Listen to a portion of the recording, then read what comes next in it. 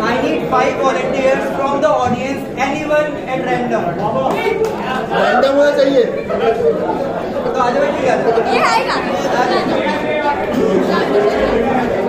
So we have now six random people from the audience. जिसको किसी ने भी choose नहीं करा खुद Unique people. So we started from the left, right. So give us any number that is your mind. एक number कोई any number. One digit. Set. Set it up. Seven. बादल एक number. Nine. Eight. Three. Seven, eight, nine, three. Now your basic task इन सारे number में से कोई भी एक नंबर आप चूज़ कर सकते हो जिसको भी चेंज सेवन एट नाइन कोई भी एक नंबर जो हम चेंज कर सकते हैं choose any number of nine what you want to change nine को किसमें करना चाहिए 1 1 so we have 7 8 1 3 what's your name ayush ayush okay so the number that we have came up with 7 8 1 3 and your name is ayush so at the end ayush is the one जिसको मैंने बुलाया नहीं था बिल्कुल भी my first choice was 5 so he is the sixth one जिसने join किया है हमें now if what if I tell you कि ये number मुझे already पता था 7 1 3 what if I tell you कि ये नंबर मैंने कल ही प्रेडिक्ट करा था कि 7913 number is going to be chosen here and Ayush the one who is randomly selected from the audience what you say about it if I say it now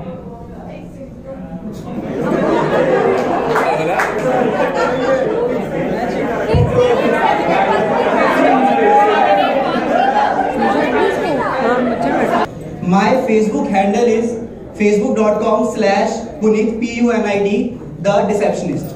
This is my Facebook handle. If I tell you कि मैंने उस Facebook handle पे कल ही ये prediction लिखी हुई थी and you all can check it from your mobile right now if you want to. If you want to, you can check it. My handle is Punit the deceptionist. Predictive analytics.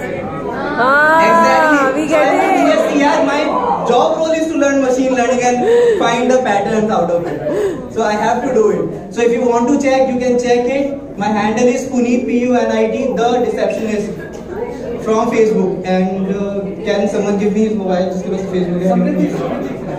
Do you have this? Okay. So this is the prediction that I have done yesterday on my wall that Ayush is going to be randomly selected out of the audience and the number that you came up with is going to be 7813. I